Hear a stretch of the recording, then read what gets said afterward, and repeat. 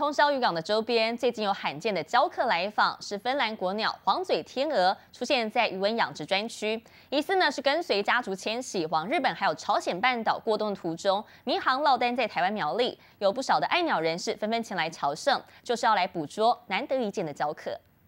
一只大天鹅站在余温，尽管寒冷的海风阵阵吹来，但它依旧稳如泰山，吸引众人目光。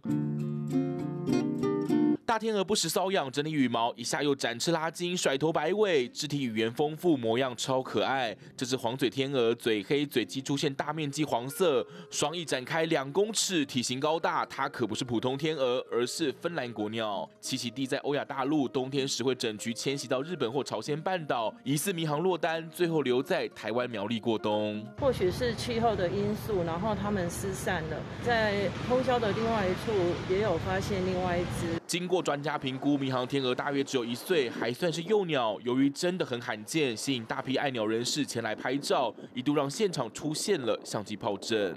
很难得，就是能够观察到迷鸟等级的鸟类，能够以爱惜的心情，然后来保护这只幼鸟。预估等到明年春天，整群天鹅将重返欧亚大陆时，这落单的幼鸟就会再次跟随鸟群。而这几个月，民众如果前往欣赏，务必要保持距离，千万别吓到难得一见的教客。这张杰苗栗报道。